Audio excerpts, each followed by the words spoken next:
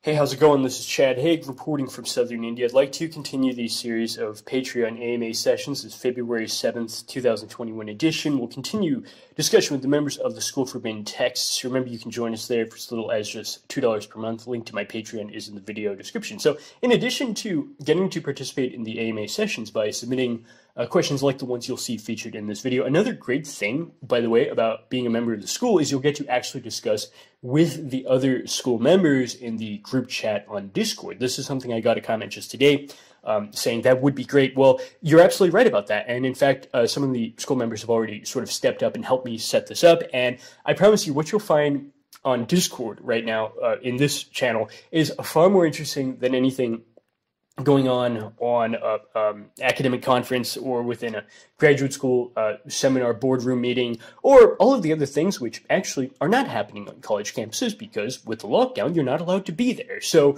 um, you could go $50000 per year in student loan debt to watch free youtube videos including ones from the Chad Haag channel itself, as ironic as that might be, or you could do the real thing. Okay, you could um, just for a few dollars per month, uh, get a better education than a top PhD program, including, by the way, developing the skill of writing. So, at least back in the day when they still made you do work on college campuses and still wanted to teach you something, one of the um, reasons to go through that whole experience was precisely to develop your skills as a writer and, of course, PhD level, developing your, your skills as, as a scholar. And that's something which we also are doing within the school itself. The first essay over um, one particular topic from uh, Ted Kaczynski's Industrial Society and its Future is due within the school right about now. I've already gotten um, a submission or two uh, from the students, and these will be submitted for peer review. And um, it, the experience really of getting to collaborate and build up your skills as a scholar is something which I argue you'll be able to do much better here. I say this as somebody who has, in fact, basically written several dissertations. When I dropped out of um, graduate school seven years ago, I, I, kind of had this sense of regret that I would never um, get to write a dissertation, um, not knowing that, in fact, I would. I would just do it as a ghostwriter for pay for several other people, which, of course, you know, is an interesting um, uh, subject in itself for another video, but I can promise you, as somebody who knows that world, I would argue pretty well that what we're doing here on um, Patreon and on Discord and on YouTube. This is the real thing. So, once again, if you haven't done so already, I'd recommend you for just a few dollars per month to uh, become a part of this. And I also wanted to apologize for the slight delay in videos as I was sick the past week um, with something which I don't really know what it was. It wasn't quite like anything I've ever had before. It might have been, you know what, as some people have said. I'm not going to formally speculate on that, but I will say that I'm better now and I'm fully ready to get back into producing the videos. And I thank you all for your patience.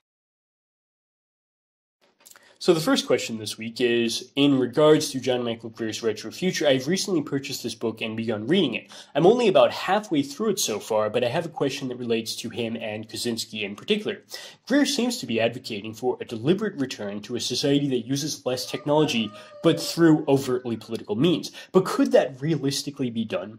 Such a concept runs quite counter to Kaczynski's own theory of self-propagating systems. I personally believe Kaczynski would say that winding back the technology technological system through political or really any other means would not even be possible due to the nature of the technological system to always grow and need more. So this is a great question, which you could probably write a whole book about all of the differences between uh, Greer's approach and Kaczynski's approach, and it would be a long book at that. So I'm going to mostly focus in my response on things that you brought up yourself uh, with regard to um, not just the nature of technology, but the nature of all self-propagating systems. Why that negates in advance any vision to consciously steer it in a certain direction, especially the direction going backwards. And it's really not an exaggeration to say that Greer is interested in going back because, after all, the book is quite literally called The Retro Future, looking to the past to remake the future. This is, by the way, um, a philosophical or nonfiction version of a novel which Greer wrote called Retrotopia, in which, in the fictional version, he portrays this idea through the story of a guy who travels from Philadelphia to Toledo in the year 2065, at a time when the United States as such no longer exists. At that time, um, Toledo was part of a new nation called the Lakeland Republic. And what the traveler finds when he gets there is just that the average person gets a higher standard of living simply through using tools which would be considered out of date today, but are still perfectly functional. And by the way, less expensive in real terms of things like ecological damage, um, fossil fuel inputs. They don't require global distribution networks, and they're also just plain more satisfying and enjoyable to use. People feel, however, that it's not even possible simply because the one thing they feel they can't do is turn back the hands of time. Except, of course, on daylight savings, where that's quite literally what they do with their clocks at home, but they still feel like it's not even possible. But Greer simply um, interprets this as a feeling of learned helplessness, which is just a very unclear way of saying that corporate marketers told me to buy something else. so, um, a, a, big part of his philosophy here is that technology in the singular doesn't even exist. Okay, in reality, there's a plurality of different technologies, and anyone who really is a free subject would be able to choose which one they want, even if it's not currently trending as the latest thing. Okay, and people only feel that that's not even an option because um, corporate marketers have quite literally used black magic to um, manipulate people into spending money they don't have for stupid things they don't even want simply because people lack the spiritual strength to say no.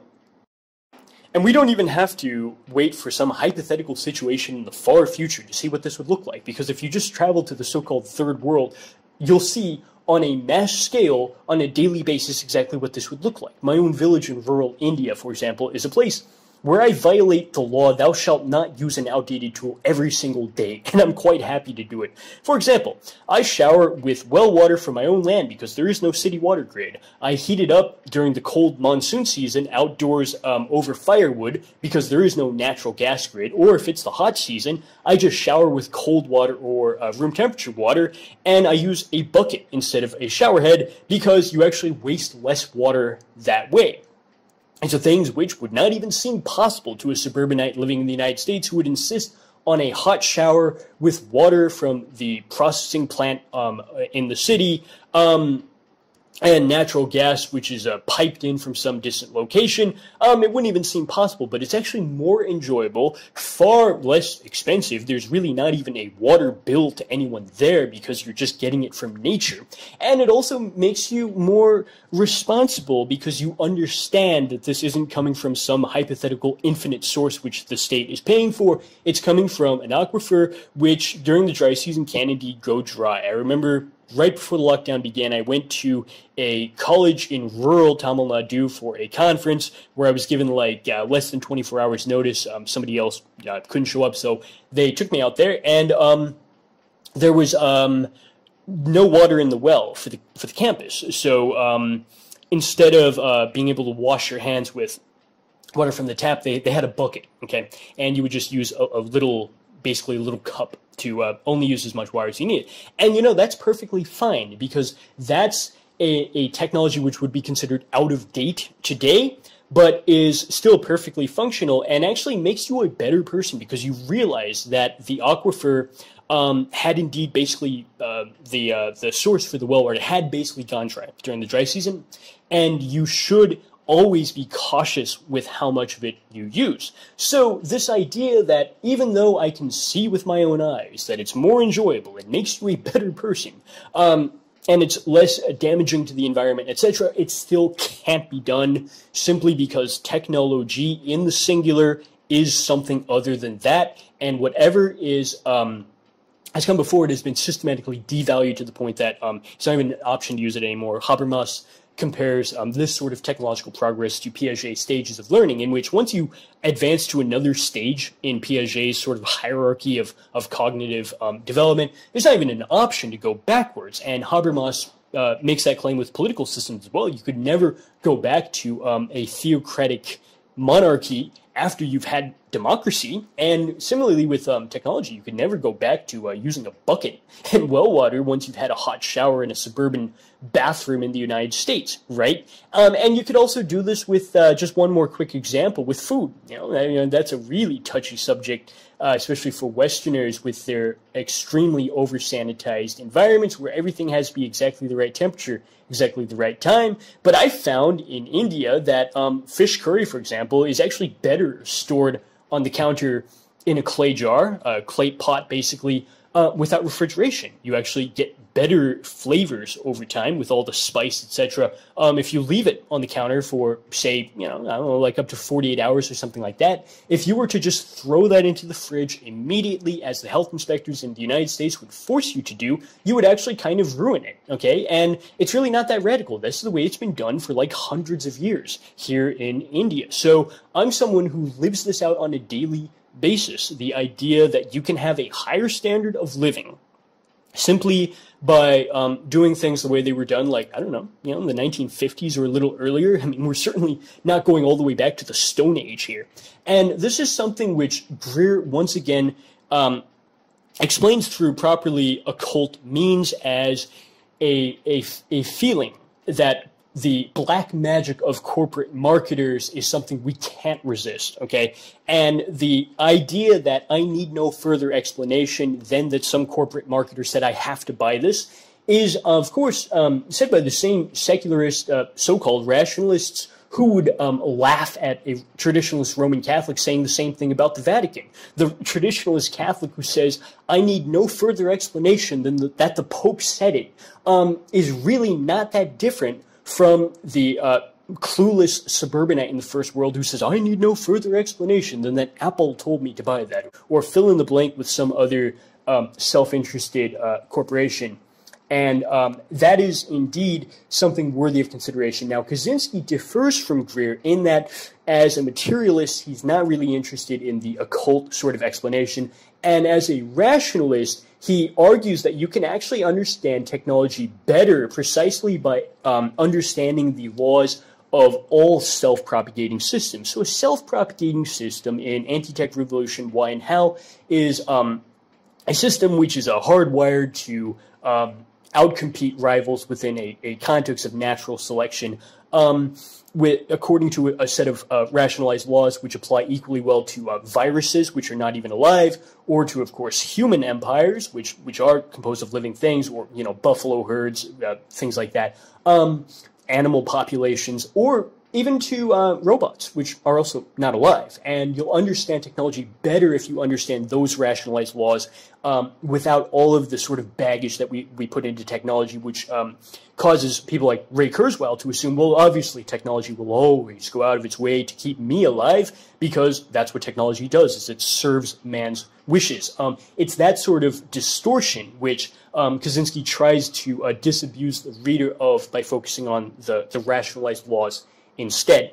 And what he found is that it is the nature of self-propagating systems to favor behaviors which give a short-term competitive advantage over rivals within the context of natural selection, even if the long-term consequences prove to be negative or even, in fact, self-destructive. He gave the example of a group of rival uh, tribes who were forest clearers show that if one of them realized it could clear so much forest land, in fact, that it would gain an advantage over the others to basically put them out of business, uh, so to speak. Um, even if the long term consequence was its own self destruction, it would still choose to do that because that's just the nature of self propagating systems. And that is not merely metaphorical, by the way, for the kind of things which the global technological system does on a daily basis, because all of these radically, historically unprecedented interventions on ecological grounds will also have the long-term effect of, as Kaczynski says himself, inevitably self-destructing the technological system itself. He noted in the second chapter of Anti-Tech Revolution, Why and How, that the real explanation for Fermi's paradox, or the um, question why it is that with all of the billions of years that, you know, things have existed and all of the countless, um, you know, galaxies, etc., out there, there should be on purely rational grounds, um, evidence of intergalactic space travel in that some civilization on a distant planet should have already been smart enough to do it, um, but we've never seen any evidence. And the explanation which Kaczynski gives is that um, by the laws of self propagating systems alone, any technological civilization which could have been advanced enough to do intergalactic space travel would have already self-destructed before then. There's a kind of clear trajectory there, a clear succession of stages in which self-destruction comes first.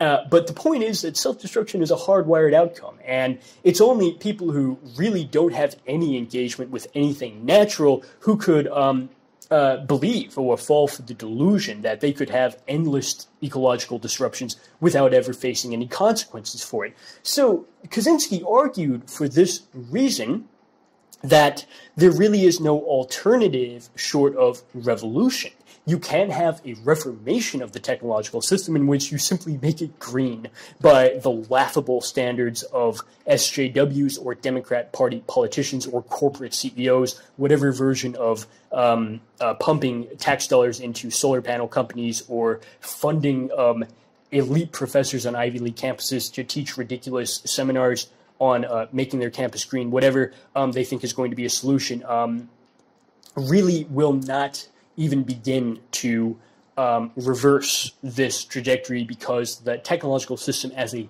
self-propagating system is only going to allow activities which are progressing towards that endpoint of self-destruction in disguise, however they might be um, deceptively marketed on the surface level.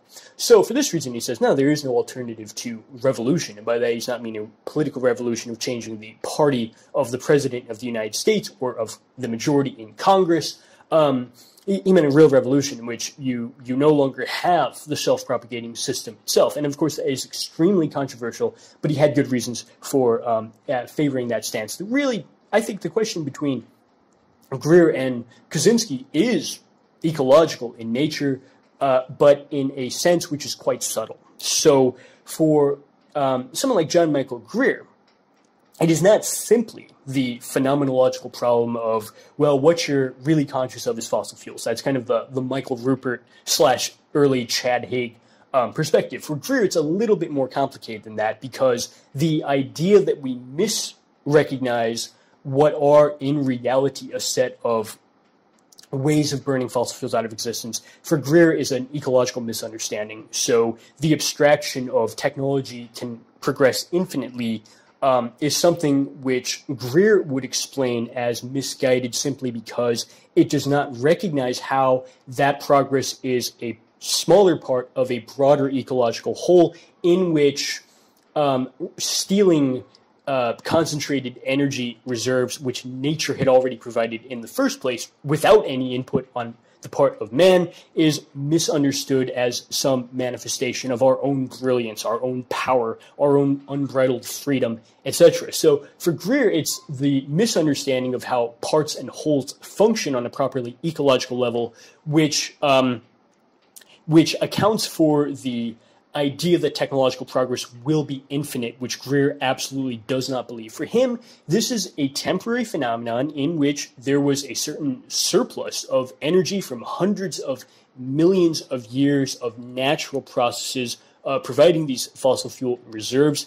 And um, the temporary historical anomaly of uh, putting that to use, which admittedly we've been able to do, um, will have the same ending really as uh, if a group of field mice had one day accidentally found a truckload of grain had overturned within their um, habitat, they would uh, have a temporary surplus in the population because there would be more food than usual. Then they would eat through that excess, and then they would have a massive die off simply because, on ecological grounds, there would be no way to materially support that huge overpopulation, and then they would go back to whatever much more modest population could be sustained in that habitat. And everybody can understand how that works for a group of field mice, but even the top, you know, IQs or whatever in the world cannot understand the same problem when it comes to humans because of an ecological misunderstanding in which, oh no, the, the rules of parts and wholes which apply to field mice don't apply to us because it's not just uh, fossil fuels. It's our brilliance and power and freedom.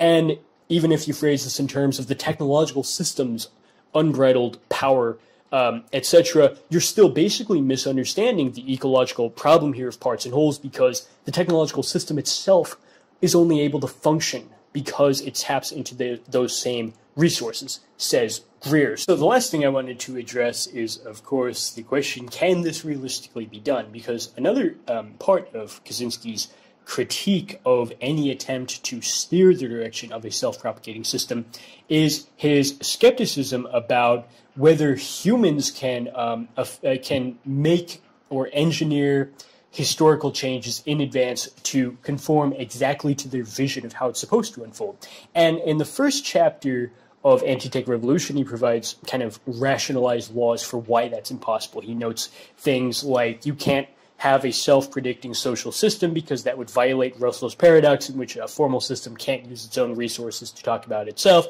You can't have perfect predictions because um, the data would have to be both extraordinarily large um, in number and also perfectly accurate because the slightest inaccuracy could um, you know cause some he talked about like the, the butterfly effects where a butterfly flaps its wings in brazil and then you have a tornado in texas. So he notes that um, you can't actually have any human however seemingly powerful they might be even like a literal emperor or in our era um, president of the united states cannot steer um, especially social system, in any particular direction because you're dealing with a, a complex system in which you have emergent properties, you have complex feedback loops, you have a plurality of um, of agents with uh, adaptability, um, etc. We know all of these laws pretty well. So um, Kaczynski's skepticism that anybody could engineer even a society that's trying to do the right thing. Could we really have a society in which people are forced to use quote unquote outdated tools simply because it's the better option? Is that really possible? The criticism of Linkola, as we'll discuss, of course, in the next question as well, that I get from various comments on YouTube on the videos I've done on the topic, people saying, isn't Linkola's attempt to engineer a sort of green police state in which people are forced to live ecologically just another violation of Kaczynski's warning that no social system can be engineered um, in advance because even if big historical changes do occur, they don't unfold exactly the way that somebody had planned that they would. The greatest example of this is, of course, the technological revolution itself. There were intellectuals in the 18th century who figured that, of course, if universal automation happened, people would no longer have to spend hours and hours every day with um, time consuming manual labor tasks like you know, farming or grinding enough grain for the next uh, day's bread took women in Jesus era in the ancient world like three hours of, of labor every day. So intellectuals in the Enlightenment era said, well, if we didn't have to do that, everybody could basically be freed up to write classical music or like Renaissance era poetry. Everybody could become a Mozart or a Shakespeare. Well, the automation did happen, but the result was certainly not that. Instead, you had the massive problem of boredom from having nothing to do, and it was largely filled with the lowest common denominator of garbage, like reality TV and pop music and things like that. So instead of allowing everybody to write um, an epic poem like The Faerie Queene by Spenser, people wasted their lives following every move by Kim Kardashian or listening to really bad music from someone like uh, Justin Bieber or Ariana Grande. So you had the major um, social change, uh, but it didn't unfold the way that people had predicted. Even people who basically, you know, they're the most intelligent people in the earth, basically, or these Enlightenment intellectuals, they got it wrong. And no matter how seemingly intelligent anybody who um, seems to be uh, uh, in control of the situation they might be if they gamble on making enormous changes they will not unfold the way that they predicted as well so does this apply even to um, changes which uh, would be good like uh, having people live more ecologically could you actually engineer a society in which you force them to do so? Well that's not really what greer is talking about. Greer's not the sort of green police state guy like Linkola admittedly is. He's really more the ecological thinker who says that people will largely use older technologies in the in the future because the ecological conditions for them to not do so will have disappeared. I think Greer's critique of the problem of overpopulation is uh, quite useful here because he noted that we've already had decades and decades of formal attempts to stop overpopulation through, you know, educating people about it and uh, uh, making birth control and things like that readily available. We've already had these attempts, um, but the Earth still reached 7 billion people. And that was simply because humans really aren't that different from. Um, you know, like I think he compared them to yeast. if you have a certain excess of um, feeding material in a environment, um, they're going to uh, multiply, and that's what um, really was the explanation for this was simply the excess provided by once again fossil fuels.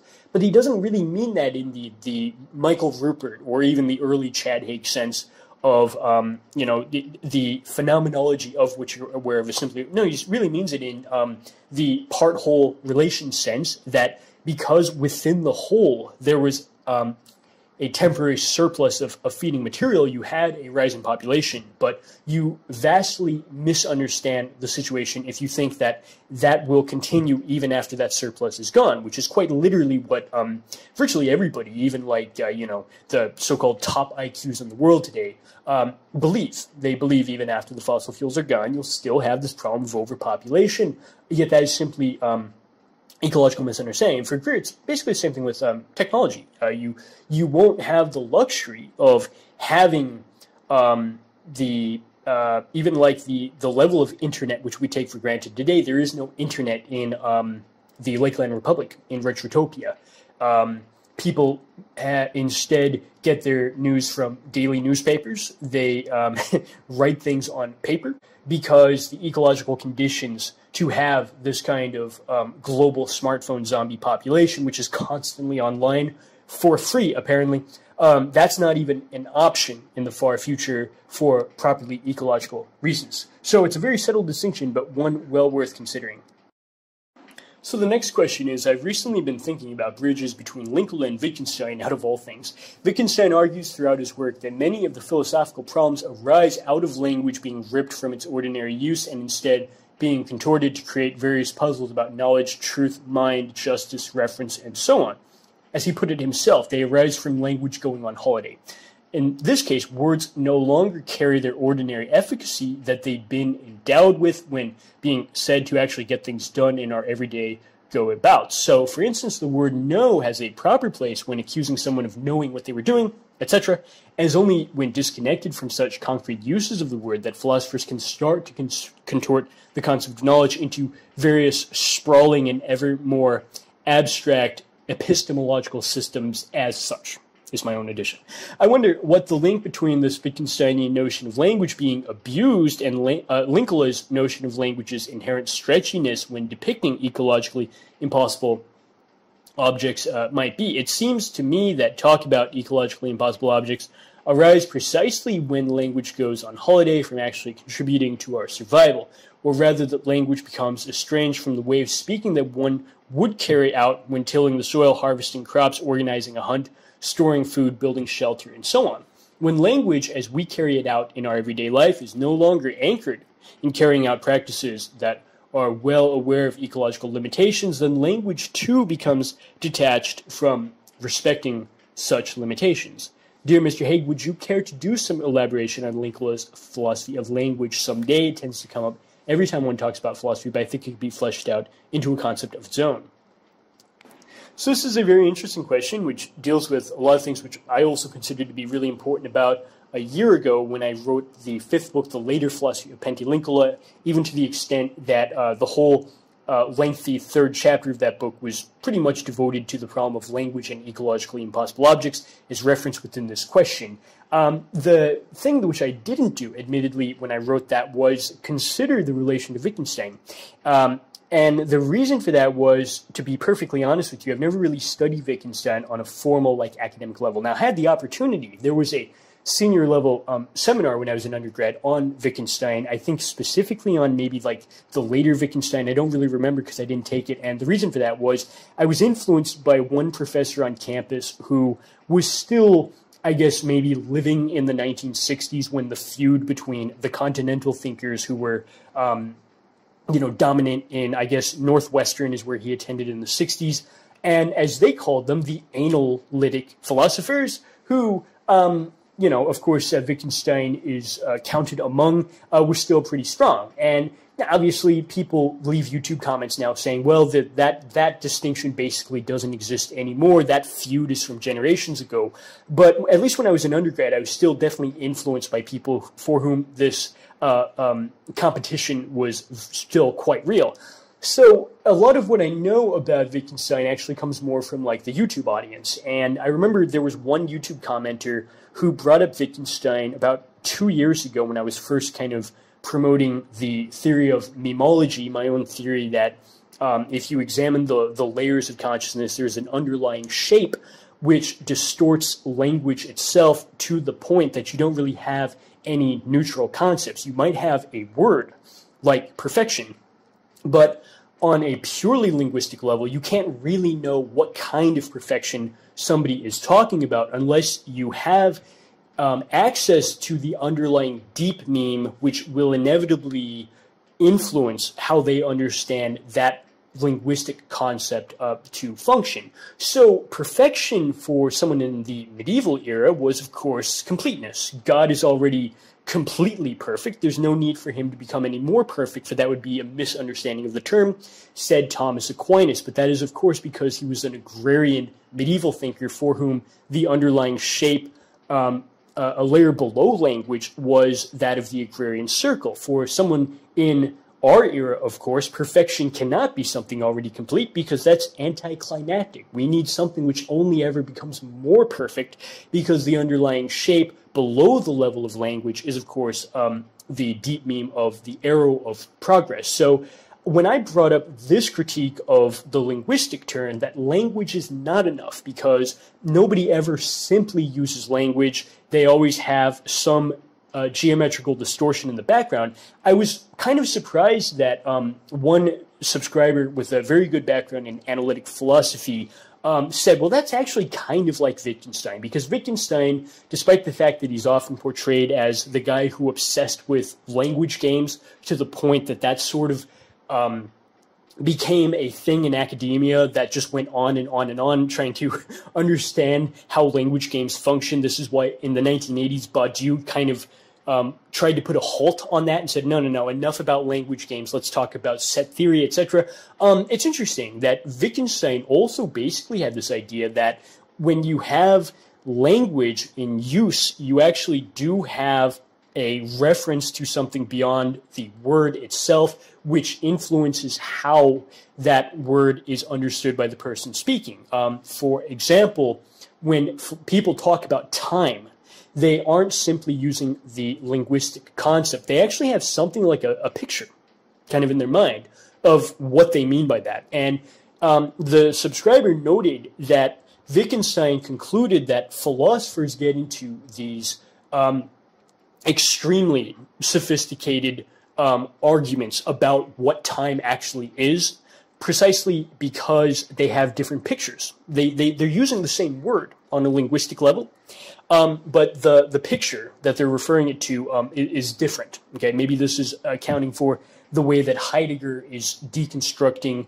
the vulgar concept of time, which you find um, all the way up to Hegel, whatever. He's saying, well, eh, Wittgenstein I, rather would say, well, they just have different pictures. Okay, the, the argument is not simply about the language, but about this other thing which it's referring to. So if we tie this in with Linkola, I think it would be useful to say that for Linkola, you can only have this kind of abuse of language, which is recognized by the, the, the patron who posed the question here, as something of a secondary deviation from the ordinary way that it would be used.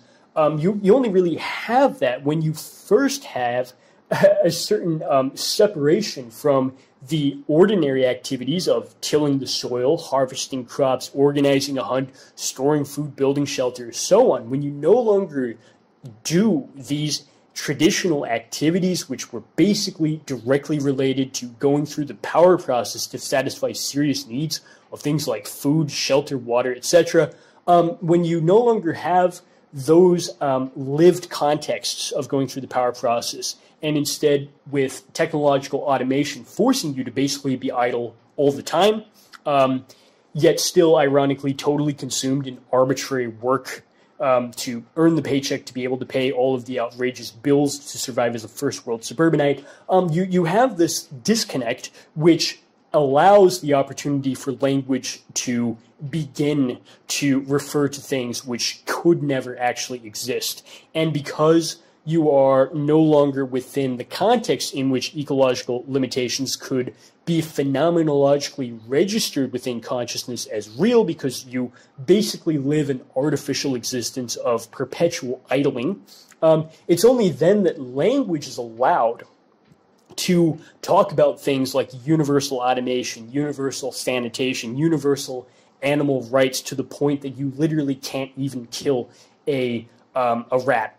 you know, you have massive rat overpopulation due to the amount of garbage which the human overpopulation had first provided, and yet you have extreme so-called environmentalists forbidding you to kill even one rat. And if you post a video on YouTube, even as a farmer in the third world, of humanely drowning a rat in a bucket of water, it will be removed from YouTube by the same first world suburbanites who would probably call exterminators to spray toxic chemicals in their houses if they saw a single cockroach crawling on the ground. But nonetheless, you can um, you can not simply blame language for allowing this monstrosity because you had to first be divorced from the proper context of living naturally. Because if you took a hunter gatherer from, say, the prehistoric era, and even if you didn't have any um, communicative issues with regard to language, you could not use language to explain to them what all of these ecologically impossible objects actually are. You could not use language to explain to such a person what universal automation, universal sanitation, um, universal animal rights, global overpopulation, um, what these things are. Not because they maybe wouldn't understand it linguistically, but rather because they know that that is out of accord with the picture, which they have in their minds. And they would realize, I guess, on a deeper level, that it wouldn't be possible within the ecological limitations of nature, precisely because the kind of activities they'd be consumed with um, on a physical level, like hunting wild animals, um, and maintaining safety from dangers in the in the wild, etc., they would realize that the kind of things you're talking about contradict natural law. The question, I think, really is just what the underlying picture might be for the modern first world suburbanite technophile who who thinks not only that all of these ecologically impossible objects are realistic, like the, the Kurzweilian singularity, for example, but actually argue that they're the only options. Um, it's not even an option today to be an agrarian peasant a hunter gatherer, a nomadic herdsman, etc., despite the fact that actually there are such people alive even today, they would say, no, no, it's not possible because the underlying picture in my mind says so. What is that picture, though? Certainly, my earliest philosophy, I would say it's just the deep meme of fossil fuel based progress. You have an arrow that never plateaus and never reverses, certainly. And in my earliest philosophy, I would say that's sufficient to account for all of these uh, instances of ecological impossibility. And in a certain sense, you do have a common denominator in Linkola's philosophy that all of these do kind of gesture towards an irrational expectation of, of something that never really stops growing. He says himself, when people talk about utopia with language, what they really have at the picture level, to use Wittgenstein's term, is an economy that never shrinks. It just perpetually grows and it's never um, bothered by problems like uh, running out of resources or uh, polluting its own environment to the point that it really causes problems. Um, so you have that. You have, of course, the tendency for uh, there to be more automation, which e- with each year, more sanitation, more population, etc. So you do have. Um, I think grounds for saying that the picture, which allows this distortion to go on, simply is the picture of the arrow of progress. Um, but I don't know if that's um, really all that you can say about the kinds of things which Linkola is talking about. I think in many ways it's actually a negation.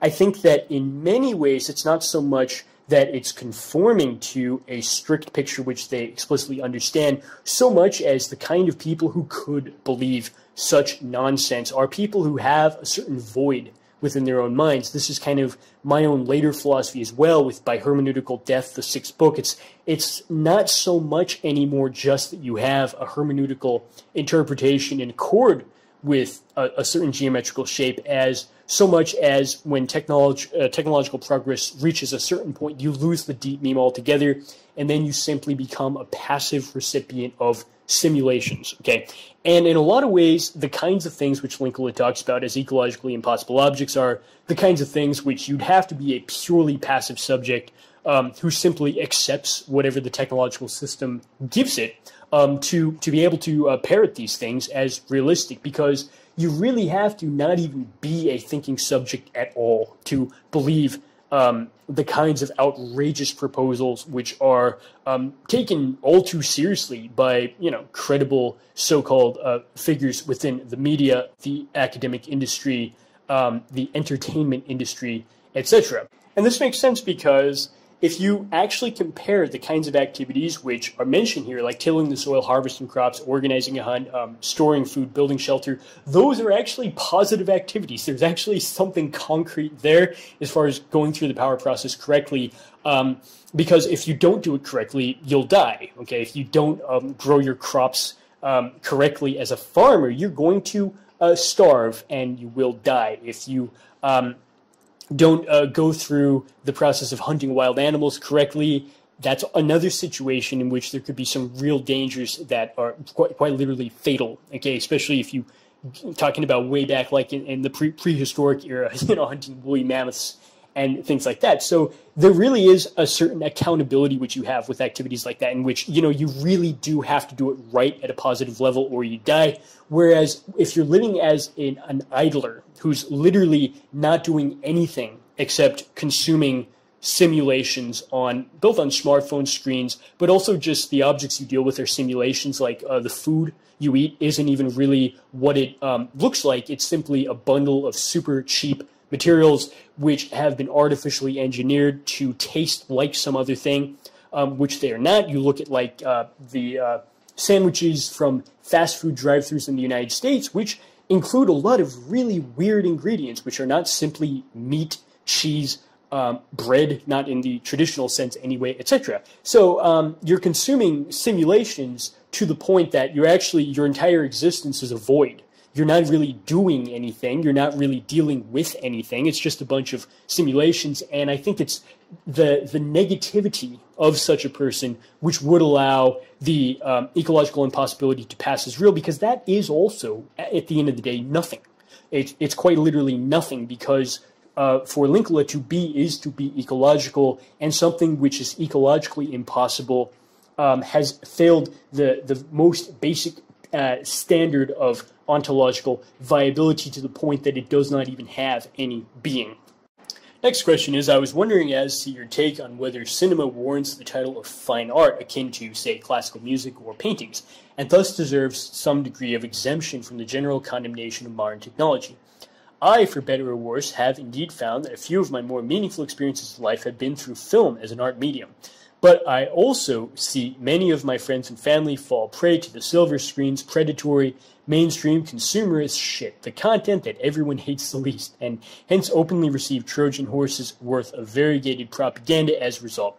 Should cinema be considered redeemable? So this is a great question, which is not at all easy to answer without some qualifications, because um, obviously cinema in itself is kind of um, a very broad term these days um, when so much of electronic um, media is simply consumed on smartphones with the lockdown and theaters being closed it's to the point now when major hollywood movie comes out it just goes straight to somebody's smartphone.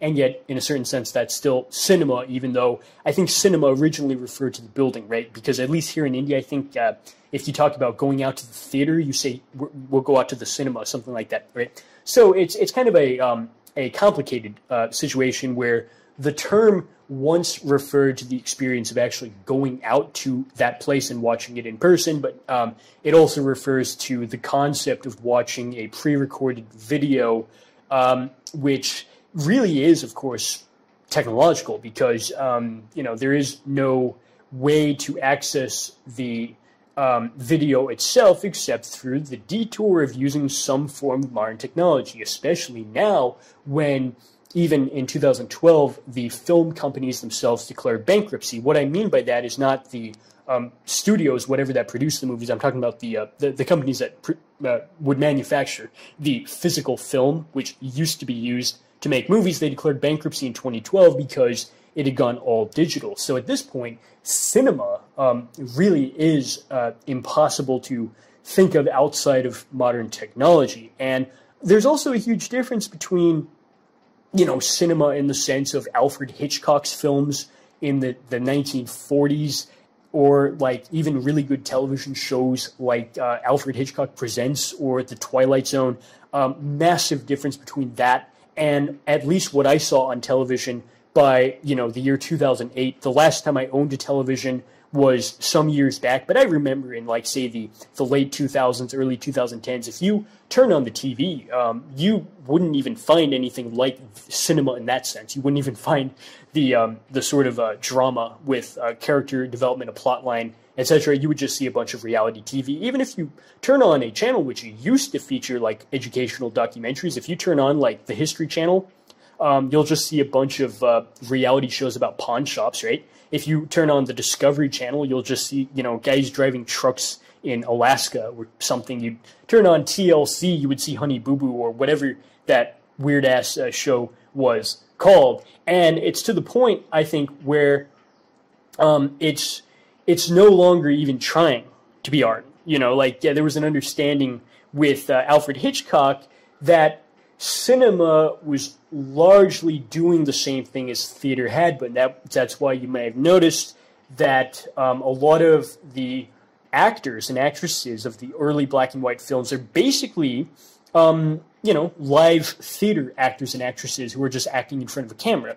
If you look closely at the credits for the episodes of, say, Alfred Hitchcock Presents or Twilight Zone, it will say based on a short story by such and such, based on a novel by such and such um, the relation between the kind of literary art or theatrical art, which really is worthy of the name, and cinema was understood to be pretty close at that time. Cinema is doing the same things as they, it's simply committing it to a recorded medium which can be accessed anytime later. That relation really deteriorated over the years to the point that by the 2000s, um, they realized that um, they could make a lot more money and they could also produce the material much quicker if they just did away with any attempt to even have it uh, that relation between the literary realm and the cinematic realm maintained. And they just went all the way to you know reality tv and you would flip on the television and see you know the kardashians or um, you know truTV in which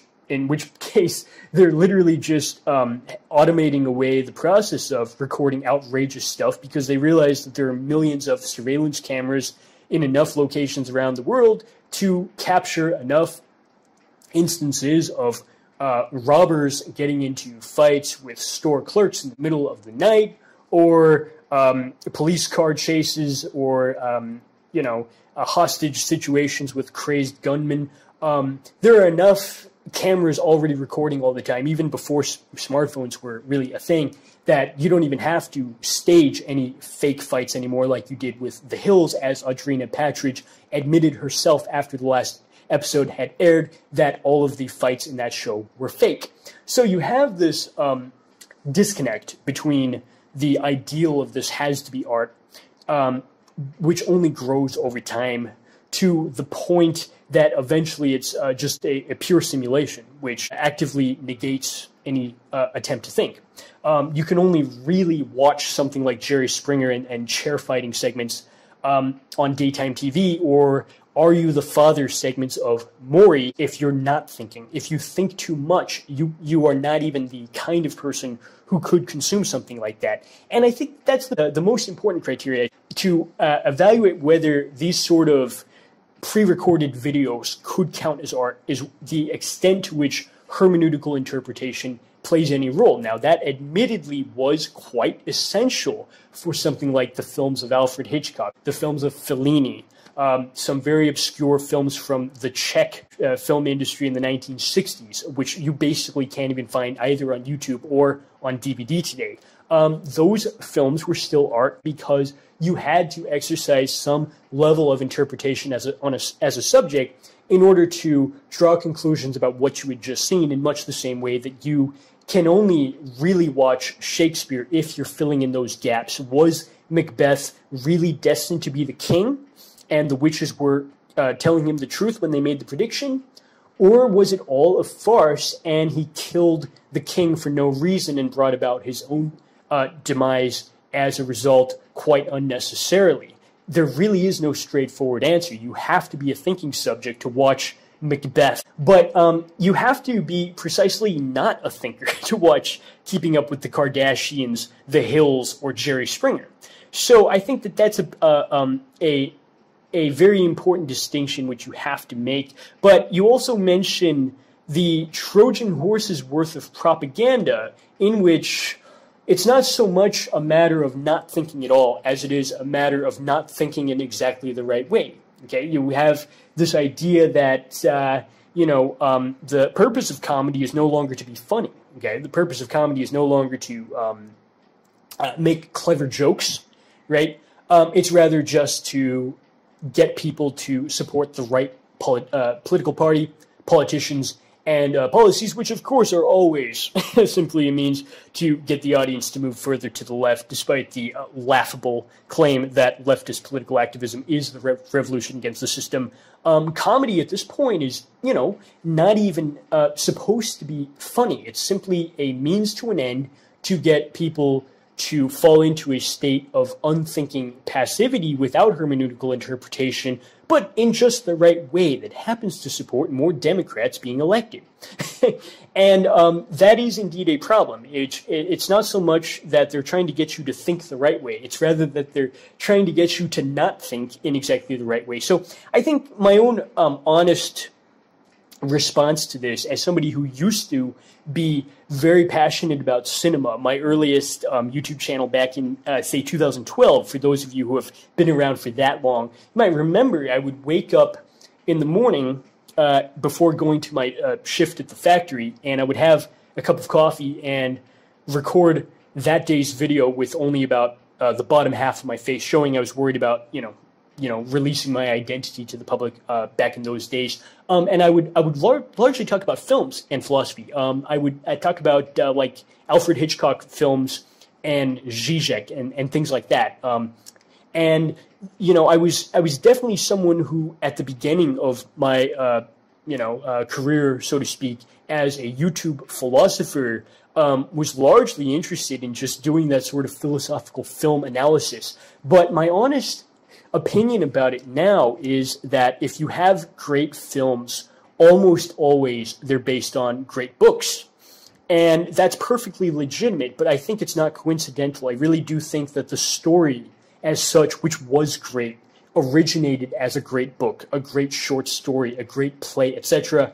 Very rare, I think, to find a, a really great film which didn't have some sort of literary prehistory. And of course, you know, um, the uh, YouTube comments will probably contradict me on that, and, and I welcome that sort of discussion. Um, but my own experience, that seems to be the case.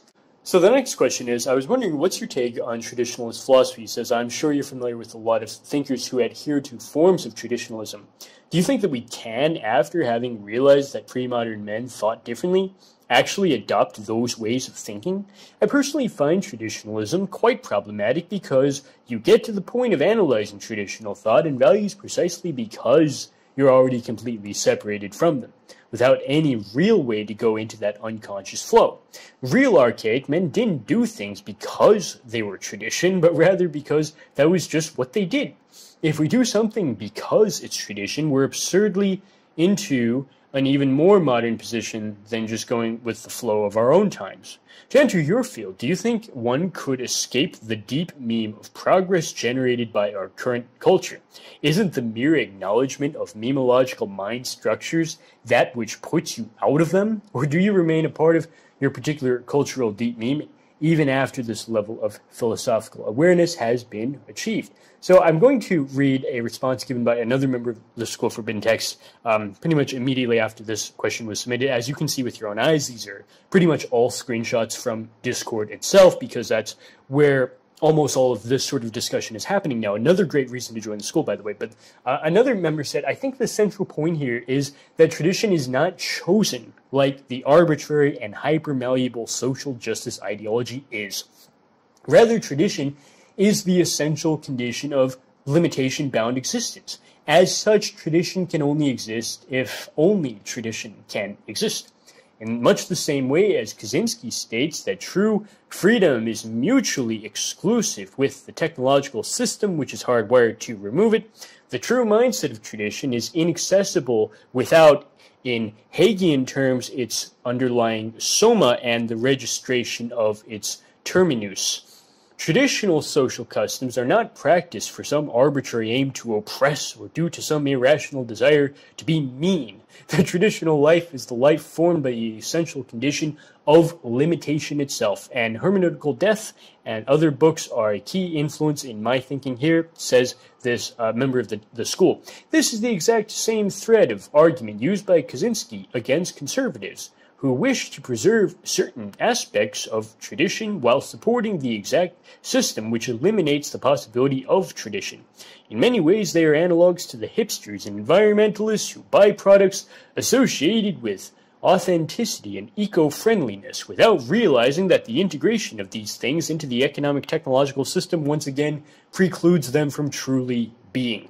Nature does not exist in a natural park. It exists in its unbridled state when it is all that exists, when there is no alternative to it. The same is true of tradition. I dislike talk among certain deep ecology thinkers about which time we should return to, as this smacks of the exact same Promethean hubris, which is itself simply a result of somatic and I would argue spiritual conditions which will rapidly subside after the collapse of the technological system.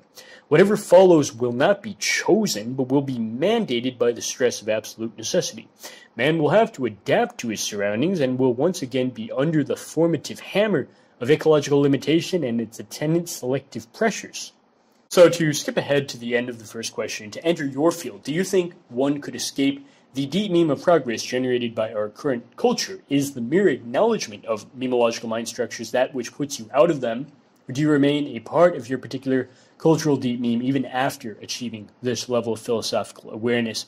This is um, something which I actually dealt with at the very end of my second book. I noted the paradox that um, the deep meme is, I guess, more real to the person who has no explicit idea that it's there. So the person who um, really believes in progress is the person who has never actually reached the level of consciousness where you have the hermeneutical disclosure of the geometrical shape of the um, linear arrow of progress as such. The person who really believes in progress is the one for whom that is effectively invisible. I noted the examples um, in my interview with Keith Woods of uh, David Klass's Firestorm, a novel by a self uh, proclaimed environmentalist about um, a boy who travels back a thousand years from the future to warn us that ecological crises will make the future world uninhabitable. But of course, he uses a time machine to come back to our world, and he's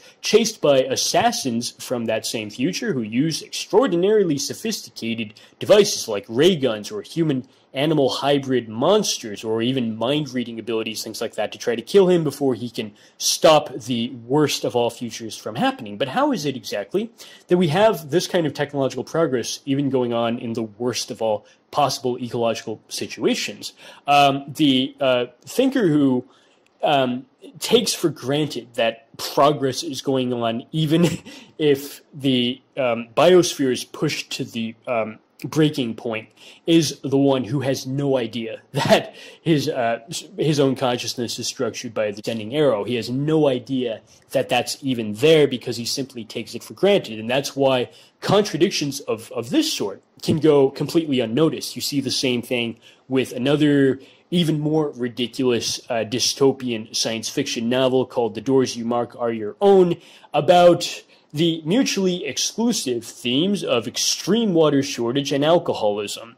Um, somehow, a society where uh, people are too poor to afford water is also one where they can drink as much cheap beer as they possibly want, even if they don't even have a job. We're never told how they're able to do that because the people who wrote this book never bothered to spend just two minutes researching the topic online, in which case they'd find that some 154 liters of water have to be wasted just to produce one liter of beer. But in addition to the ecological impossibility of this, which I emphasize a lot in uh, my, my fifth book on Linkola, there's also the memological problem, which is um, even in a dystopian book, which is supposed to be also about environmental catastrophe of running out of water, we still have all of the expectations of a world of progress, specifically on the economic level, that even the poorest, you know, person in society can still spend all of their time getting wasted on really cheap beer, which is, however you look at it, simply the um,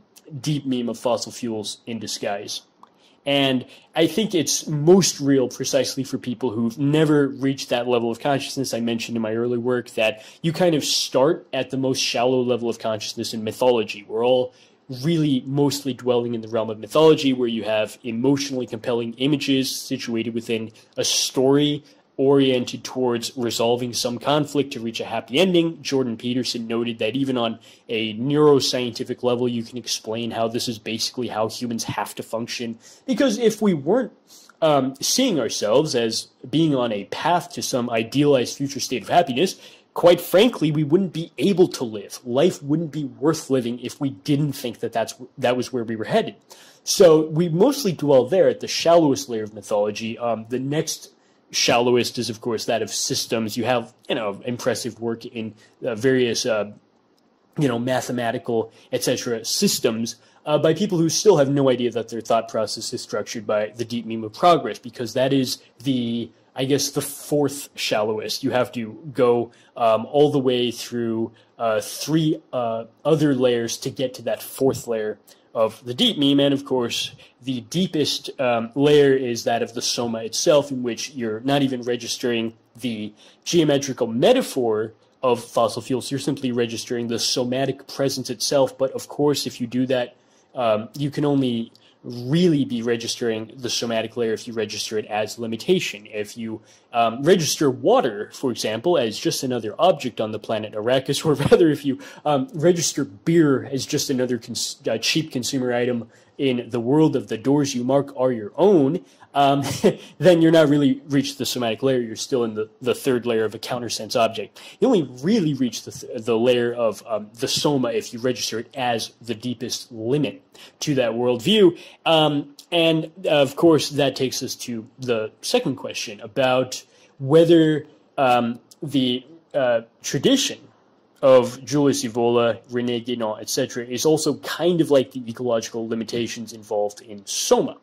Just as seeing the deep meme of progress as such is something like a deconstruction of it, in that after you have this experience of reaching the memological layer, you'll never really be able to see mythological or systematic or objective expressions of progress, which are always less clear than the purified deep meme itself. You'll never be able to take those as seriously. If you hear something like a proposal to uh, turn the world into a green campus, in which, by the way, people's thoughts on um, unrelated social and political issues also progress in addition to their environmental um, habits supposedly progressing, um, you can never take that bullshit seriously ever again after you realize the um, unconscious uh, memological shape which underlies it. It's only the people who've never reached that layer that will hear something like that and actually um, assume that that's simply uh, a, a, proof of its being or reality that it embodies this logic of progress. Because as I mentioned in my interview with Keith Woods,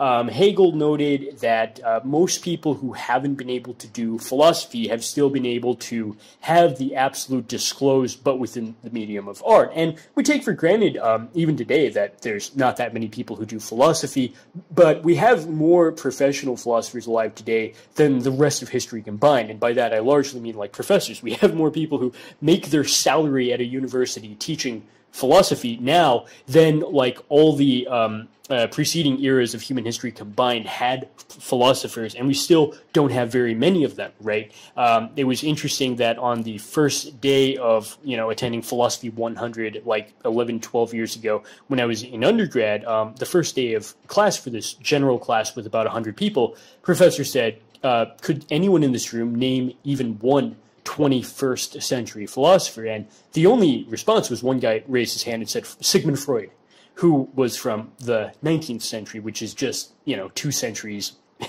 too early. So um, it's interesting that uh, most people have not done philosophy, but they've still had a, a sort of folk metaphysics. For Hegel, um, at least within his lectures on fine arts, you kind of um, get to have the absolute disclosed hermeneutically within art, which is democratically accessible. Not everybody uh, basically can read Aristotle or Plato, let alone Hegel himself, but everybody can, you know, see the art of um, Rembrandt or Shakespeare or Mozart, etc.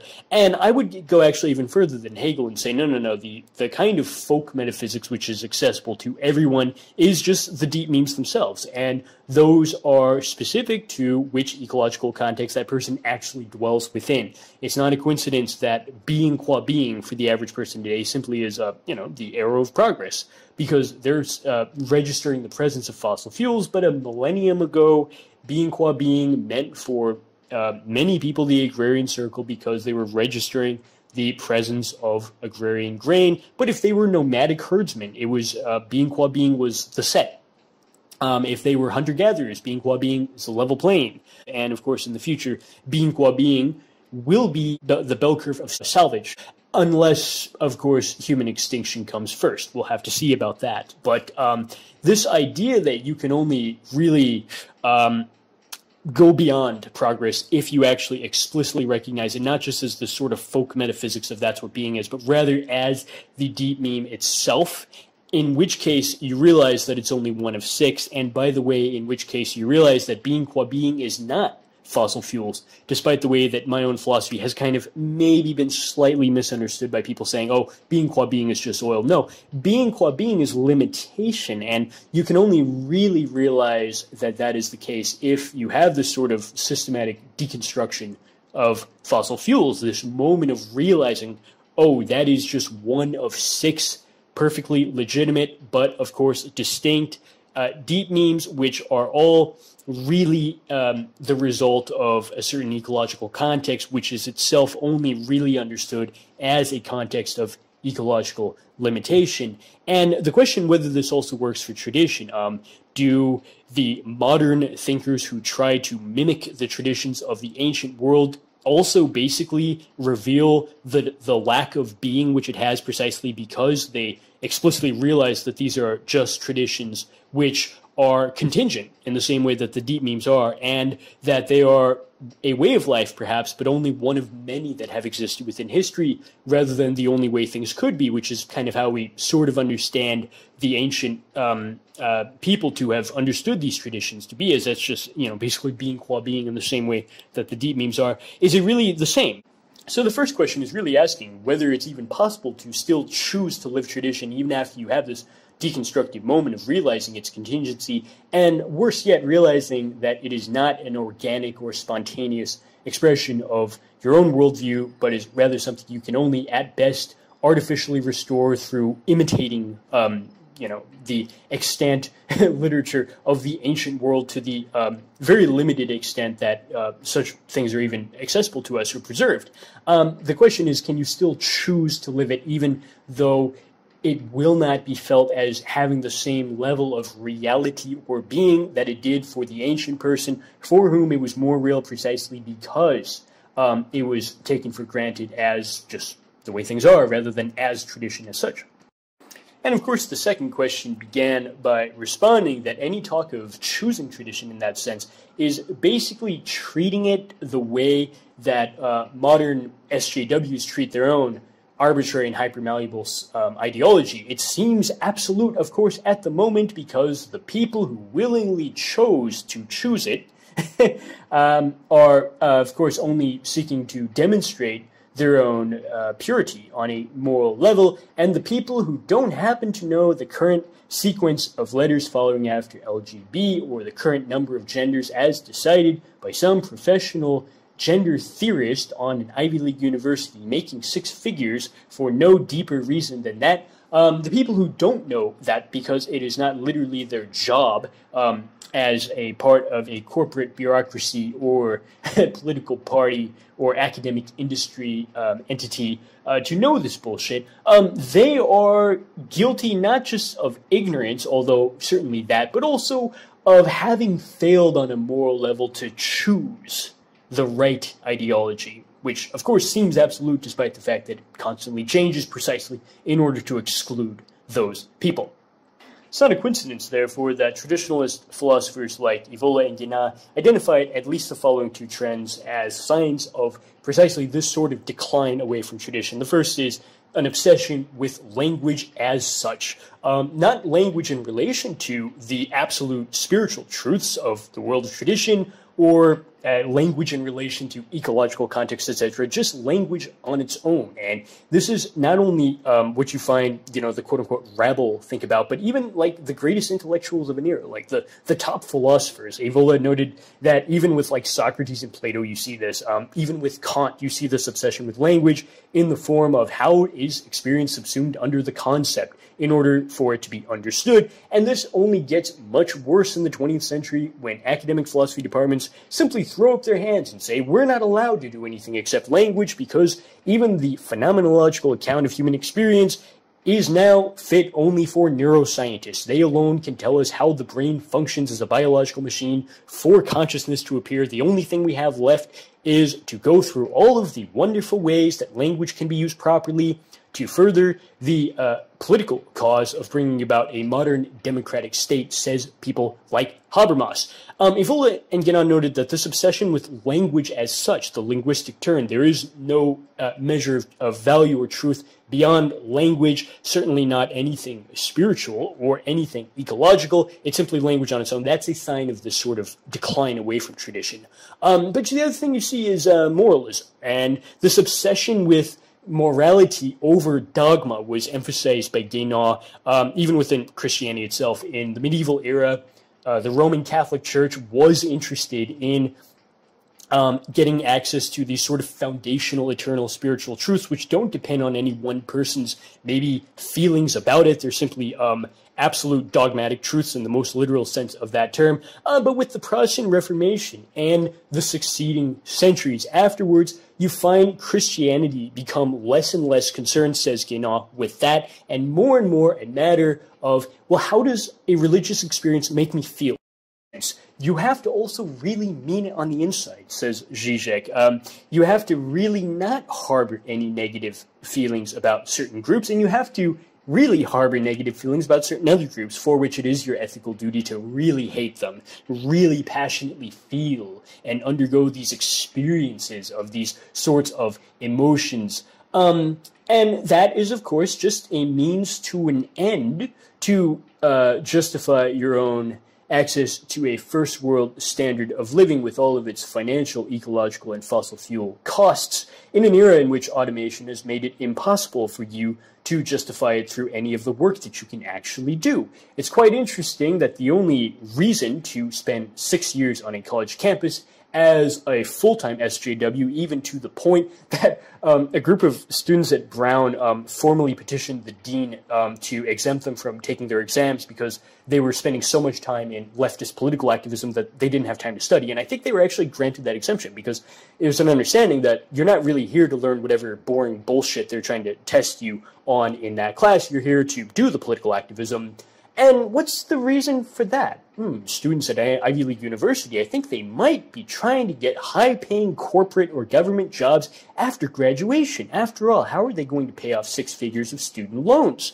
for being on a college campus for six years? And how are they going to um, justify the, getting those high paying jobs and the affluent lifestyles it affords them um, if they don't really know any knowledge because they didn't actually go to class or take tests oh, they can justify it only because they not only know the right words, or rather choose to use them, but they also harbor the right feelings on the inside in a purely private and sentimental sense as well. It's quite ironic that the critiques um, a century ago, which might have been leveled against uh, Protestant, you know, fundamentalist Christians, are now really relevant to the exact opposite. A bunch of secular, so-called rationalist, far-left SJWs, and that is indeed the very worst example of the kind of decline away from tradition, as this comment um, correctly noted. So the idea that um, a tradition isn't about choosing, let alone something which is only trending right now for arbitrary um, reasons of uh, social popularity, right? Um, is, uh, I think, a very good point. But um, the uh, question also notes that the true mindset of tradition is inaccessible without its soma. Now, I'm guessing by that that um, the uh, it's meant that the soma is not that of fossil fuels. so, uh, maintaining fossil fuels and tradition, which is basically like the ideology of like, let's just say like your mainstream Republican conservative in the United States, they really want things like family to still be valued or things like uh, heteronormative monogamy within marriage or I don't know things like going to church every Sunday and and saying your prayers and and believing in the Bible as an infallible text with uh, a divine origin. They want to believe these things, but they want to maintain the fossil fuels and the deep meme of progress too. They want to just not be that person, but also the kind of member of the church community who has a good enough job that he can write a big check every week to the church. He can write a big check every week to a dozen different um, uh, charity organizations. He can send his kids to some prestigious out of state Christian university, whatever. And I'm not really trying to be too harsh on uh, these sorts of people in, in like a stupid, like leftist SJW sense. Um, but I am saying that this expectation that you can maintain these sort of outer forms of tradition, which were inherited from an earlier era in, say, like the Middle Ages or even earlier, but still be that sort of fossil fuel person who it fits the ideal, the uh, the memology, I should say, of progress. You're still one of the uh, people within the society whose salary is rising because you were able to get a good job, along with you know all the other people working um, within uh, certain corporate government and uh, etc. bureaucracies, um, while the rest of the population uh, basically uh, drowns in debt and stagnating wages and job losses from outsourcing and automation. This is something which obviously might seem to work for a few decades, whatever, but is completely unsustainable in the long run. And it really falls into the same problem of you're living a context in which the fossil fuels and the deep meme of progress are what's really real. But of course, you still have to choose the right exterior forms of what looks kind of like tradition, and you have to feel a certain way about it. It's like I, I um, eventually reached the point of I know that I, I can't um, proof um, any of this, but I still feel it is a very common um, sort of response that you will find a modern person who fits this sort of thing.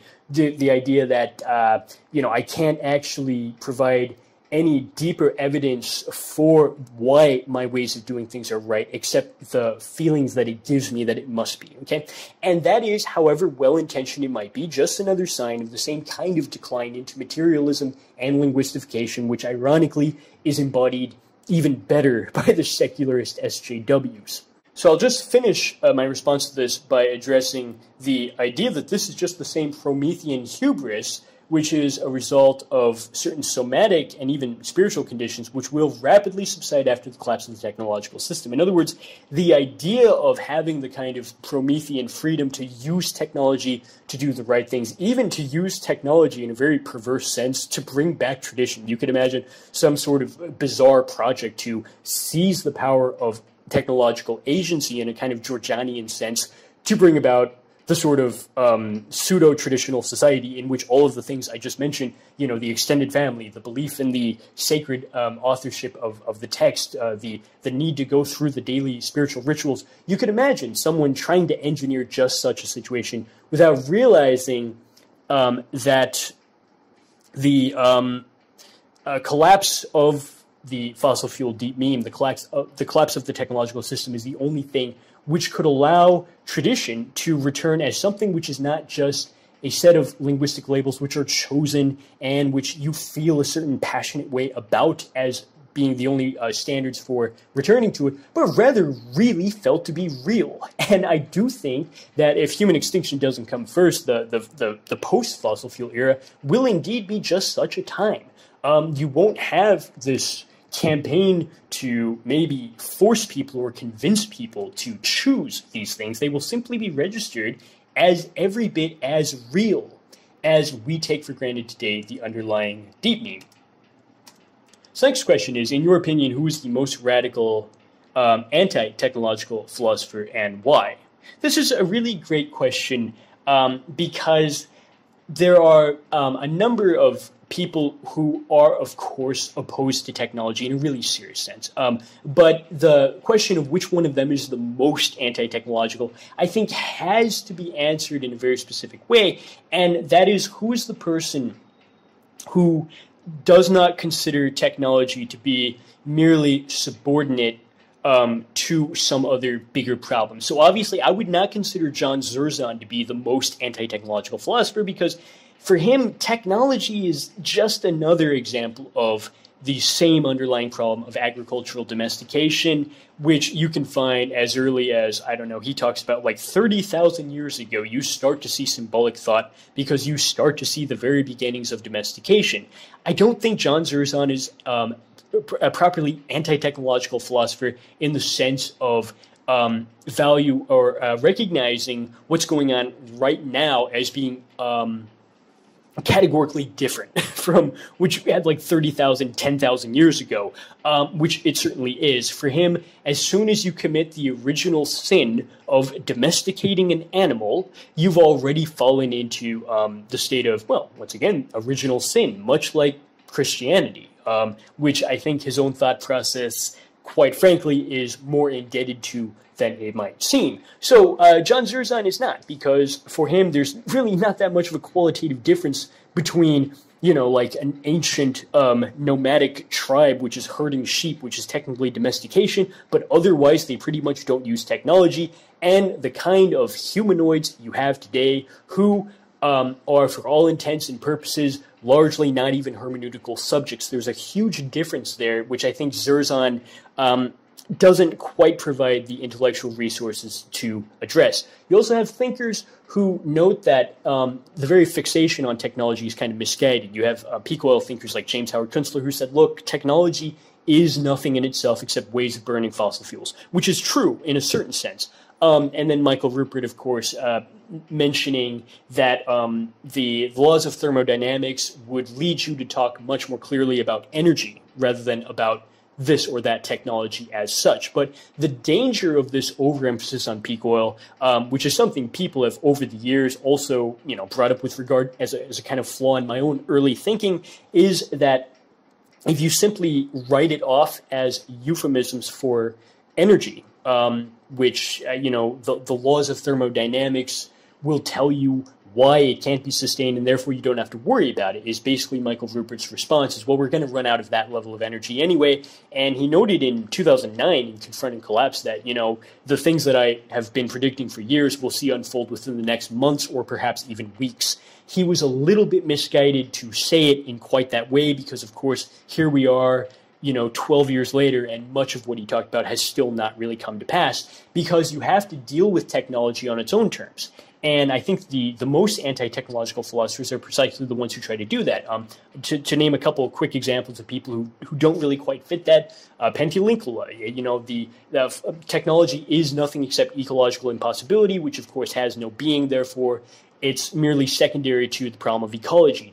John Michael Greer, in many ways, fits into this problem too. He notes that um, the technological system will collapse in the same for the same reasons that a group of field mice who eat up a surplus of grain that fell from a truck that crashed on the side of the road um, will also have their populations decline over time. The people who I think really do justice to why technology has its own uh, logic, which really cannot be subordinated to anything else, are of course Ted Kaczynski and Jacques Ellul. The question of which one of them is more anti-technological, well, you know, quite frankly, you know, Ted Kaczynski's actions um, kind of speak for themselves, and that is something which has to be considered. I just thought I would mention that. Uh, but of course, you know, Jacques is pretty anti-technological himself because he doesn't buy arguments about, oh, we found coal first, and then this, um, you know, very different way of viewing the world uh, followed afterwards. He said, no, no, no, we had this way of viewing the world which allowed that coal to be put to use for technical reasons, which only progressed in efficiency rapidly over time because it was following the logic of technique rather than simply uh, disclosing the phenomenological presence of fossil fuels, to use my own terms, admittedly. So I think the most anti-technological philosopher is um, the the ones who don't play games with only saving the good technologies and um, only getting rid of the bad ones. um, the kind of philosophers like uh, Kaczynski, who um, are willing to challenge even things as sacrosanct as modern hygiene. Wow, there are a few things people would find quite as offensive as the idea that you should wash your hands whenever they get dirty to avoid getting sick. Um, and uh, Kaczynski is one of the, the people who's willing to push it that far, along with Linkola, of course. Um, and I think that uh, the, the standard of who's the most anti technological philosopher uh, really has to come down probably to two, the, these two guys. And of course, finally, hey Chad, would love to hear your thoughts on Biden's new climate change initiatives. Also, for some easy cannon fodder, you might have fun addressing the main criticism that people have of it. Nothing to do with climate ecology or even energy, but rather the complaint that people will lose their jobs. So I tried to research this. I'll be 100% honest with you. I don't really follow the news anymore. Um, there was a time when I really enjoyed reading a daily local newspaper here in India. There was even a time when I enjoyed um, uh, reading newspaper in America. I would be uh, driving my uh, my my uh, routes as a medical courier all over Denver, and sometimes I'd have a free moment, so I'd pull over into a 7-Eleven and spend one dollar for like a USA Today. I used to really enjoy the uh, experience of reading a newspaper far more, of course, than you know the 24/7 uh, clickbait um, simulation of social media news. Which, by the way, if you if you haven't um, left, like Facebook, for example, please do. please um, allow the rest of your life to be like 10 times longer because if you're not wasting all of your time with that, um, you'll be amazed how much more you can do with your life. So um, I, I used to enjoy the newspapers, but about a year ago, even that became a form of drudgery because every day you'd open up the news and all you would hear was the current numbers of you know what and a lot of other really bad news. And um, the bias was absolutely astounding, even out here in India, where nobody here can actually vote in the U.S. election. It was just outrageous how um, distorted and biased uh, the reporting on the events was, even on things like riots, like even um, all the way out here in India. Um, if there was, uh, uh, you know, uh, something bad done by rioters, they would never tell you. But um, if there was something bad done by people who opposed rioters, it would make like the front page news. It's absolutely ridiculous how coordinated this is. So, haven't been following the news, but I can tell you that to the extent that I researched this on my own, it's a bunch of to the extent I understand it, promises that we're no longer going to drill uh, on, on, on federal lands, we're no longer going to frack on federal lands, blah, blah, blah. And to be honest with you, um, I don't really see how that's going to make much of any kind of a difference because if you don't have any concrete proposals for how people are going to use less energy by of course using tools which would be considered out of date today which of course that is not even an option in this plan it's not really going to make any difference. What this will probably do is cause certain people to lose their jobs who you know quite frankly probably um, will be used for other purposes afterwards. Like uh, Dmitry Orlov speculated that if you have enough people thrown out of work intentionally and then thrown out of their apartments and then you make it illegal to loiter, well, suddenly you have all of this free labor for the prison system. And it's funny how, with all these technological innovations, it still really is the case that the most efficient source of labor is just human labor. So, um, you know, from a deep ecology perspective, is this proof uh, that the new administration is really environmentalist? Of course not. this is just more bullshit from the Democrat Party and the media and Hollywood celebrities to try to look virtuous um, without, of course, actually going beyond anything to do with uh, the deep meme of fossil fuels. So, um, I, I, in a certain sense, I wish I had more to say about this, but I, I, just I don't feel that there's really that much of substance here. Um, and this is just another example of why the very term environmentalism has to be done away with in favor of terms that are far more meaningful.